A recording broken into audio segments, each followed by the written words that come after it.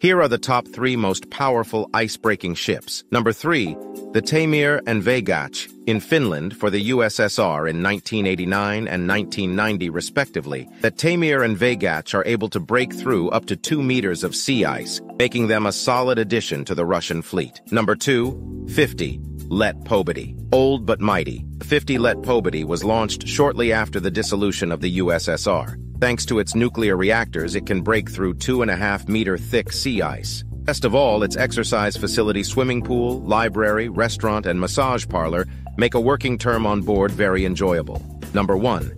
The Arktika.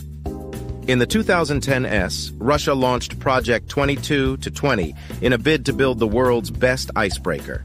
The Arktika that is the poster child of this initiative, it's able to produce 80,000 horsepower and break more than 2.7 meters of sea ice at a constant pace. She has a force to be reckoned with.